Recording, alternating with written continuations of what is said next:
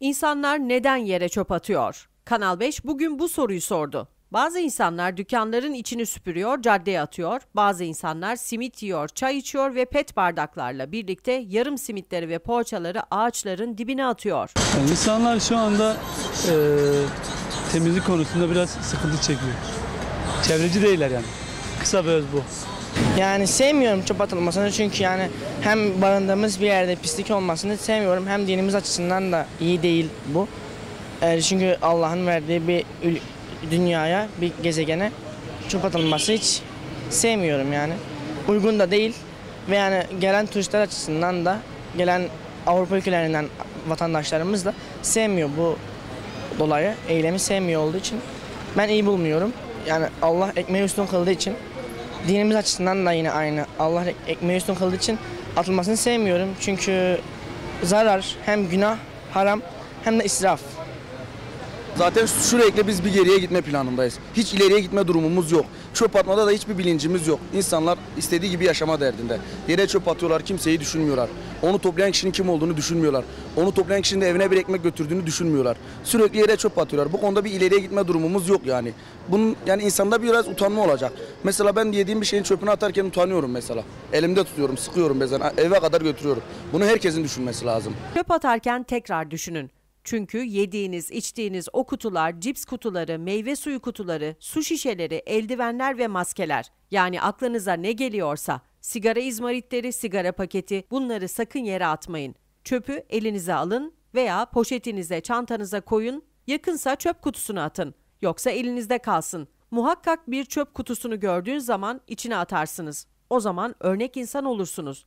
Güzel giyimli, okumuş insansınız ama yere çöp atıyorsunuz. Bu çok yanlış.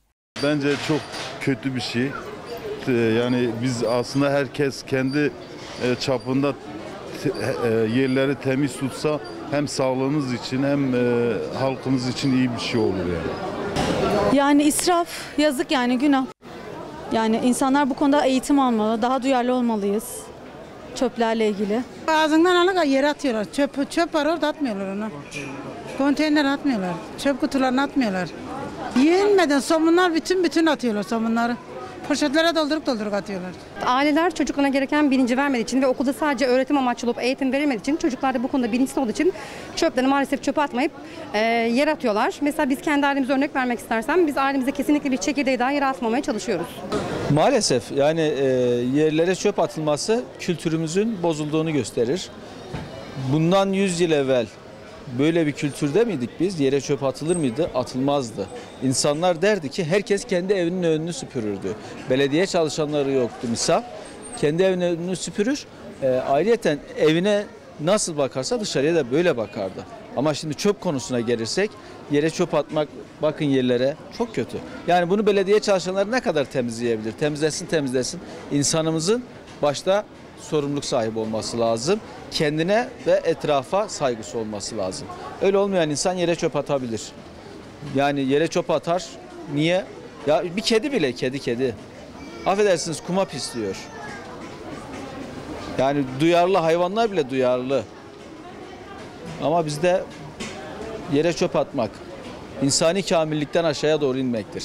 Her yere insanlar çöp atıyor, doğayı kirletiyorsunuz, denizleri kirletiyorsunuz ve ormanları kirletiyorsunuz. Düşünün, hayvanlar bile çöplerini yere gömüyor, etrafı temizliyorlar. Siz etrafı kirletiyorsunuz. Bir kere daha düşünün. Neden bu yanlışı yapıyoruz? Bu soruyu her insanın kendine sorması gerekir. Yere çöp atmayın. Doğaya karşı sorumlu davranın.